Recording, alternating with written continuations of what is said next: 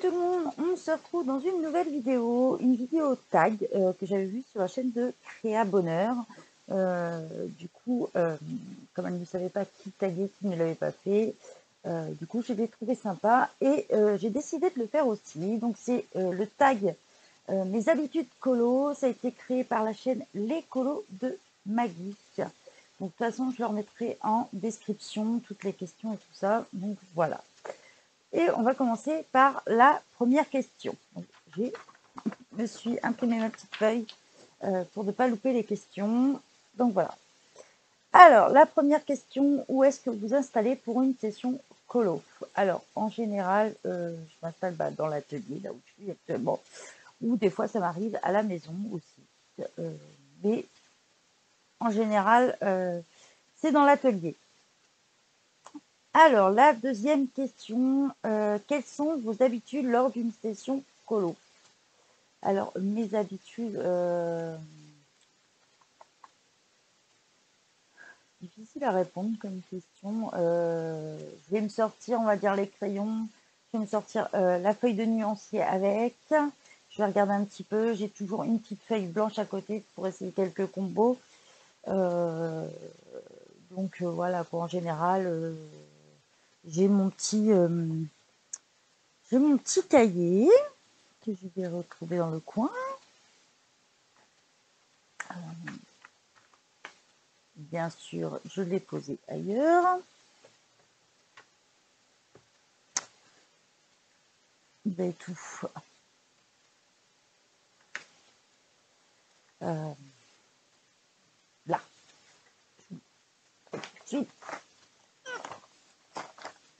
Voilà, donc j'ai euh, un petit cahier ici, en fait, où je vais noter euh, pour le mois. Là, d'ailleurs, j'arrive à la fin du cahier. Voilà, je mets toujours ma petite page euh, pour le mois. Une page où je mets tout ce qui est concours et défis. Et, et puis une autre page avec tous les duos du mois ou des deux mois. Voilà. Et au fur et à mesure euh, que je les ai faits, je mets un coup de surligneur dessus. Donc voilà.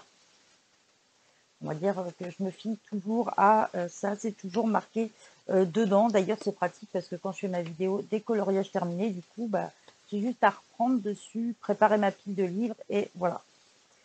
Je mets toujours aussi dans mes livres pour la page, je mets toujours ces petits, ces petits post-it là comme ça, ma page est déjà toute prête. Euh, voilà.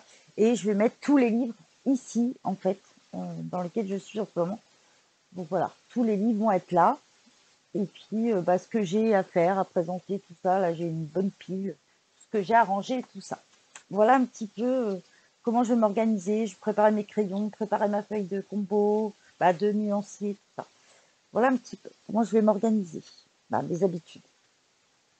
Alors, dans votre espace colo, alors la troisième question, dans votre espace colo, est-ce que chaque chose a une place précise ou est-ce que c'est le bordel? Euh, En général, tout a, une euh, tout a une place bien précise, c'est même organisé, euh, par exemple les pastels avec les pastels, tout a une place un peu précise, donc c'est un peu le bordel puisque l'atelier va bouger, donc du coup je trie et j'ai reçu pas mal de choses aussi, donc du coup ça s'empile, ça s'empile, et en ce moment, pour moi, c'est le bordel là-dedans.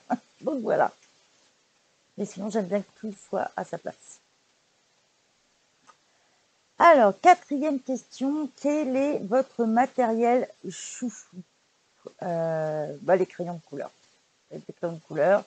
Euh, ouais. Particulier, je vais utiliser le plus, ça va être ça, les crayons de couleur.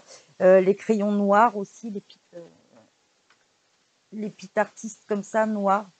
Je vais avoir plusieurs tailles, je les utilise pas mal aussi. Donc voilà, mais ça va être les crayons de couleur.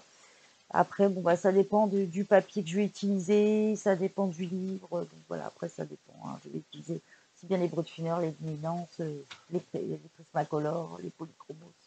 Voilà. Ça dépend vraiment du livre et du colo que je vais faire. Mais ça va être les crayons de couleur en général. Alors, cinquième question, est-ce que vous allez tout le temps dans le même livre ou est-ce que vous variez Pourquoi?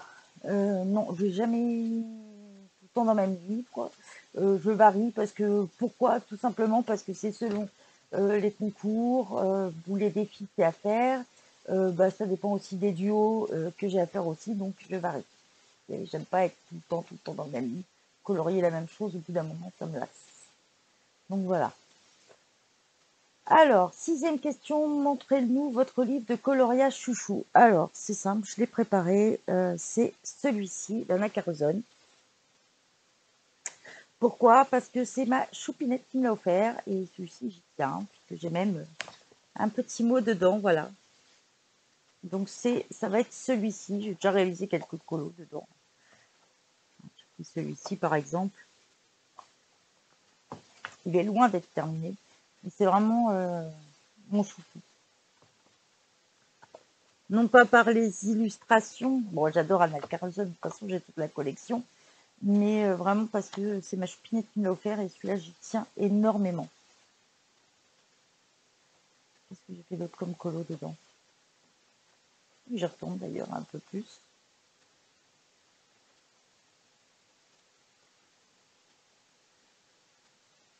J'ai fait celui-ci aussi.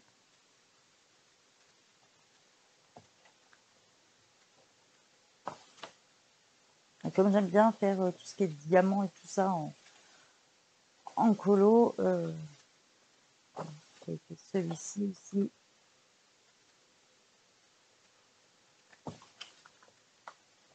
C'est vraiment celui-ci mon chouchou. Si je devais en choisir qu'un, ce serait celui-ci.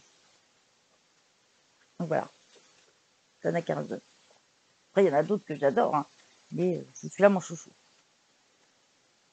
Avez-vous l'habitude de noter vos combos? Euh, Honnêtement, euh, non. J'essaye de le faire de plus en plus, justement, pour, pour les mettre dans le groupe et vous les partager. Donc, mais j'ai pas un livre où je note tous mes combos, tout ça. J'avais commencé, ça m'a et un coup j'oublie, un coup voilà, quand je suis lancée dans un colo, je pense pas forcément à les noter. Ou je vais le noter sur une feuille que elle va finir à la poubelle. Donc voilà. Non, euh, honnêtement, euh, en général, ce que je fais, c'est je prends une photo, je le mets directement dans le groupe, comme ça, voilà, vous les retrouvez euh, directement dans l'album et moi aussi. Alors, huitième question, avez-vous l'habitude de suivre un tracker pour voir l'avancée dans vos livres? Alors là, pas du tout, j'ai pas du tout, du tout de tracker. Euh, si un livre pas fini, c'est pas grave pour moi. Euh, donc euh, voilà, non, pas du tout de tracker. Neuvième question. Quelles sont les couleurs que vous utilisez le plus souvent dans vos colos Le noir. J'ai régulièrement du noir dans mes colos. les bordeaux un peu aussi. le bleu, le vert il a pas de... On va dire le noir euh, vraiment parce qu'il y a toujours des détails en noir à faire dans des colos. On va dire le noir. Alors, ensuite, à l'inverse, quelles sont les couleurs que vous n'utilisez jamais ou que rarement? Hmm, Bonne question. Euh, peut-être le jaune, parce que c'est une couleur que j'aime pas plus que ça, mais bon, je vais l'utiliser quand même, quoi. Donc, euh, on utilise un peu tout, quoi. Alors, onzième question. Pour vos fonds, quelle est votre méthode chouchou? Euh, J'aime bien tout ce qui est un peu aquarellable, on va dire, en tout ce qui est les artésans woodless, les néocolores. J'aime bien faire les fonds avec ça. Euh, mais euh, je ne vais pas m'arrêter à ça. Euh, je vais utiliser aussi les pannes pastel. Euh, j'ai utilisé un peu de tout, parce que j'ai pas mal de matos. Donc, euh, j'essaye d'utiliser tout, mais si vraiment je, devais choisir, je garderai tout ce qui est aquarellable, les artésans woodless, les néocolores.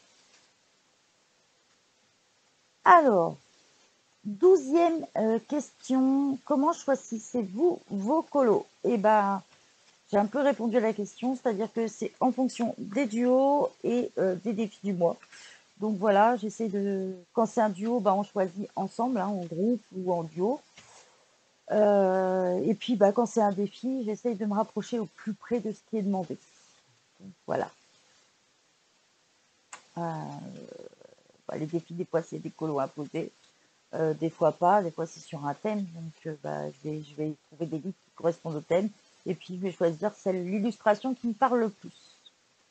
Donc voilà. Ensuite, euh, 13e question. Si vous faites du mystère, quel est votre matos chouchou? Alors, je ne fais pas du tout, du tout, du tout de mystère.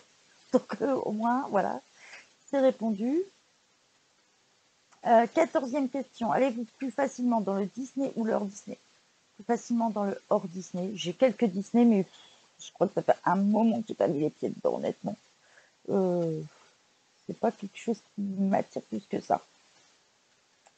Quinzième question, à quelle fréquence faites-vous des achats? C'est une bonne question. Euh, je dirais tous les mois, peut-être, ouais. Tous les mois, je vais, euh, trouver un petit truc à acheter. Ça peut être, euh, ouais, peut-être tous les mois. Alors, 16e question. Vous achetez plus facilement des livres ou du matériel? Je pense que ça se vaut. Ça se vaut, honnêtement. Ouais, ça se vaut. Je ne vais pas dire que j'achète plus de livres que de matos parce que euh, ça dépend des périodes, quoi. Ça dépend, ça va dépendre des vidéos que je vois, ça dépend sur, euh, ça dépend des promotions. Donc, euh, voilà. Alors, une question de panoramix ou panoramix. si vous avez des nuanciers, quel format utilisez-vous? Alors oui, j'en ai. Alors, je vais vous montrer ce que j'utilise. Je me suis fait une boîte euh, comme ça. J'ai acheté chez Action. J'ai mis des intercalaires. Bon, il faut encore que je le travaille. Hein. Euh, j'ai, je sépare les crayons dedans et euh, je fais des fiches comme ça. Donc, c'est les nuanciers de Teresa Ivanov. Donc, dès qu'elles sont complètes, en fait, je les plastifie. Donc, j'en ai pas mal en retard. Donc euh, j'ai séparé euh, tout ce qui est euh, stick aquarellable. Vous voyez comme les Lyra Aquacolor. Voyez. Là j'ai pas la gamme complète, donc je les plastifie quand même. les crayons aquarellables. Donc recto, verso.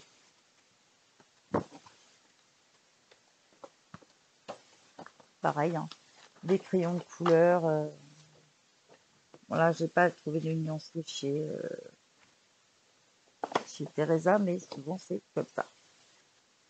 ça, j'ai euh, la boîte en photo.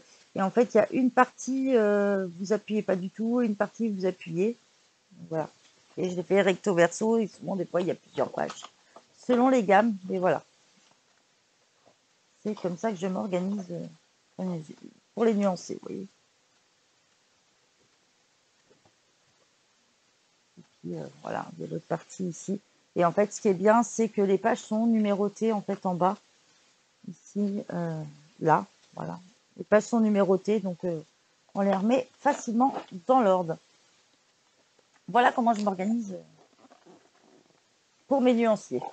Là encore, j'en ai pas mal à faire et je voudrais changer un petit peu les intercalaires, les qu'on voit un petit peu mieux. Donc voilà. J'avais commencé dans un livre, mais je trouve pas ça pratique. Et là, ce qui est pas mal, c'est que vous prenez la feuille, vous la posez quelque part ou vous l'accrochez et euh, je trouve ça beaucoup, beaucoup plus pratique. Ou euh, même quand je dois partir, bah, j'emmène juste euh, le nuancier qui correspond avec. Et je les plastifie comme ça, ça bouge pas. Et je peux prendre des notes au Véleda dessus. Alors, une question de Clio Colo. Quel est votre crayon le plus petit ou terminé? Alors, euh, j'en ai encore vu un. Je crois que ça doit être dans les brutes funeurs, je crois. Mais euh,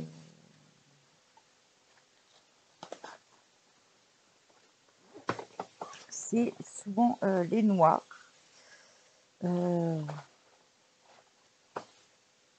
crois que ah, déjà le marron est bien bien rétréci. Hein.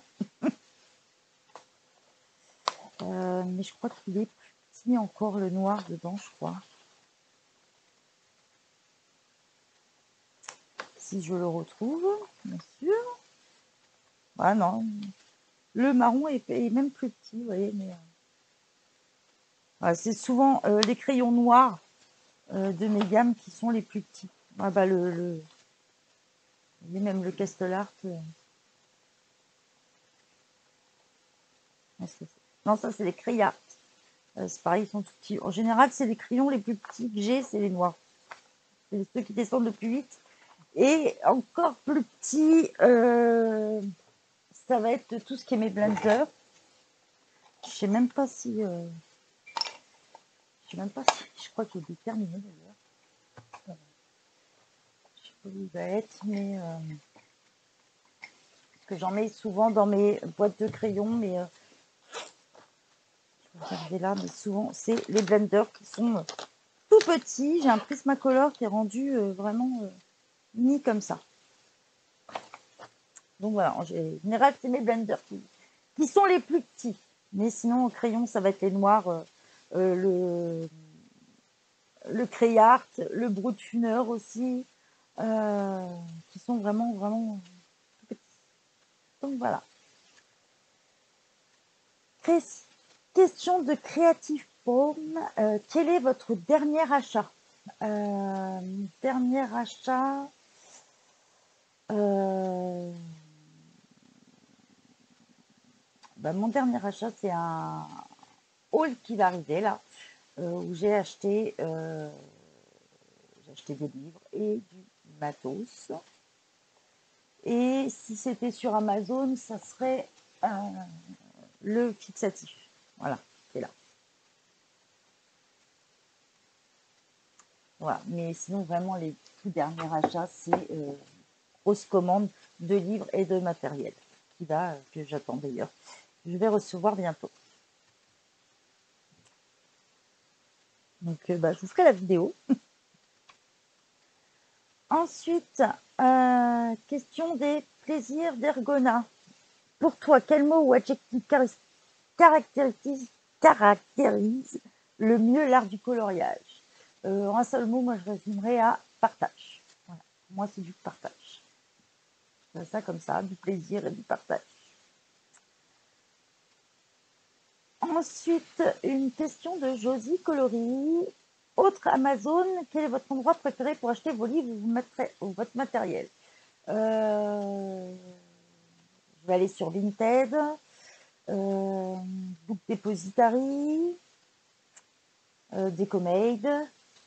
Euh, ça m'arrive de regarder sur le bon coin aussi de temps en temps. Euh, et souvent bah, à mes abonnés. voilà, le plus souvent, je crois que c'est aux abonnés euh, quand vous me dites ah bah tiens, euh, j'ai ça, est-ce que ça t'intéresse ou pas Voilà, souvent j'achète en priorité aux abonnés. On, passe oui ou non par Vinted, hein, ça dépend des fois. donc voilà. Mais sinon, ouais, en site, Book Depository, des euh, euh, ça peut être euh, chez nous, chez Action.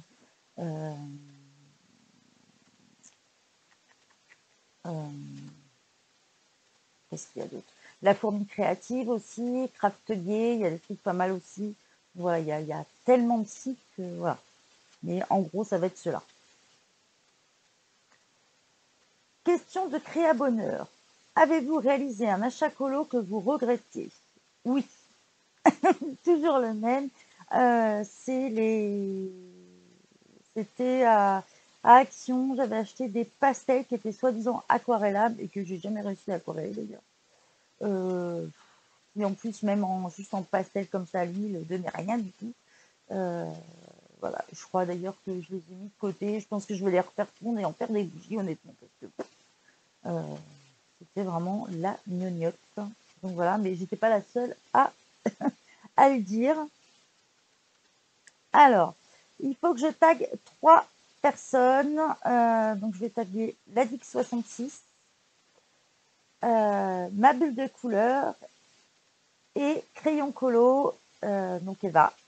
Donc voilà, donc je vous mettrai leur chaîne de toute façon en barre de description. Je vous remets aussi la liste des questions, comme ça vous pourrez voir. Et, euh, voilà quoi.